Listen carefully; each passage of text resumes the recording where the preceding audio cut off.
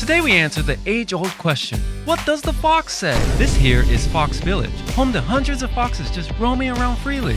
You can take photos with them, walk amongst them, Hello, buddy. and even feed them. Although this one decided to bite me. Ow! They bite. Plus they made a special guest appearance on this Pokelid, right by the castle. Bite aside, it was still awesome to see them freely living their own lives. And speaking fox?